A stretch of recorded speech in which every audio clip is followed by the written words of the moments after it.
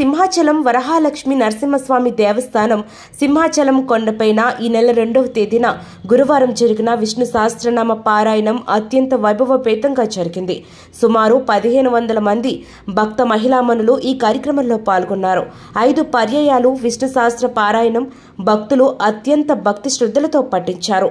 సుమారు తొమ్మిదికి పైగా కోలాటాల బృందాలు ఒక్కసారిగా సింహాద్రి అప్పన్న గాలి గోపురం ముందర నాట్య ప్రదర్శన జరిపి భక్తులను విశేషంగా ఆకర్షించారు. సింహాశైల సేవ సమితి వ్యవస్థాపక అధ్యక్షులు నల్లి హరిలక్ష్మి మాట్లాడుతూ మా కార్యక్రమ నిర్వహణకు సహకరించిన సింహాచలం దేవస్థానం ఈవో త్రినాథరావుకు కృతజ్ఞతలు తెలియజేశారు.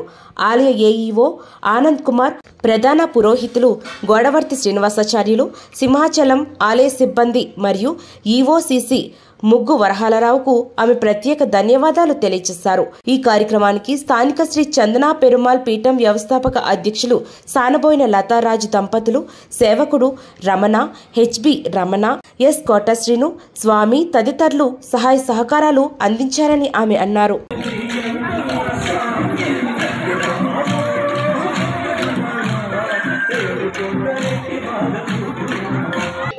జై శ్రీమన్నారాయణ. అందరికీ కూడామ్మా ఈ సింహాచలం దేవస్థాన కమిటీ వాళ్ళంతా కూడా దేవస్థాన సభ్యులందరూ కూడా మాకు ఈ పారాయణానికి పదిహేను వందల మంది వచ్చారు. కోలాటాలు ఈ కార్యక్రమాలు జరిపించినందుకు ఈ శ్రీనివాస్ గారు పంతులు గారు మొత్తం ఏఈఓ ఆనంద కుమార్ గారికి ఈఓ త్రినాథరావు గారికి కృతజ్ఞతలు మా యొక్క కృతజ్ఞతలు. ఇంత సహస్రనామాలు విష్ణు సహస్రనామాలు పాటించి ఆ సింహచ్చన అప్పన్న స్వామి ఎప్పుడు కూడా వచ్చిన వాళ్ళందరికీ దివ్య ఆశీస్సులతో మమ్మల్ని ఎప్పుడు కూడా చల్లగా కాపాడాలి. ఇలాంటి కార్యక్రమాలు ఎన్నో వేల మందికి చేయాలని మమ్మల్ని ఆశీర్వదించమని కోరుకుంటున్నాం. ముందుగా అందరికీ నమస్కారం అండి. నా పేరు మురళి. నేను కోలాటం డ్యాన్స్ టీచర్ని. అయితే మేము వీరఘట్టం నుంచి వచ్చామండి మన్యం జిల్లా మాది. వీళ్ళందరూ మా శ్రీ మండలేశ్వర కోలాట బృందం స్టూడెంట్స్ అండి. మేము వీరఘట్టం నుంచి వచ్చాం.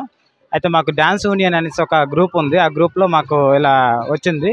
ఇలా కోలాటం చేయాలి పారాయణం అని వచ్చింది. అయితే ఒకరి ద్వారా మేము మాట్లాడడం జరిగింది.